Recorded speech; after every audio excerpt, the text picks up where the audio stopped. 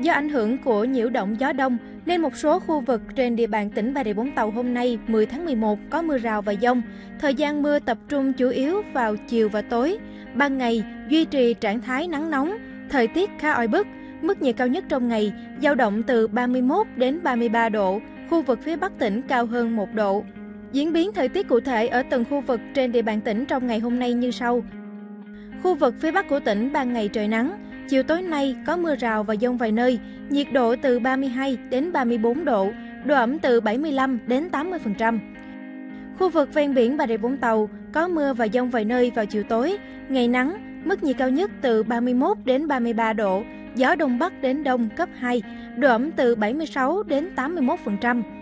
Huyện Côn Đảo trời nhiều mây, có lúc có mưa rào và dông, nhiệt độ cao nhất từ 31 đến 33 độ, gió đông bắc đến đông cấp 2, cấp 3, độ ẩm từ 78 đến 83%.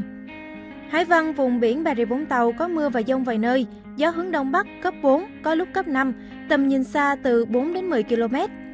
Thủy triều tại Vũng Tàu ngày 10 tháng 11 năm 2023, mức nước cao nhất 378 cm vào lúc 0 giờ 15 phút và mức thấp nhất 204 cm lúc 18 giờ 45 phút.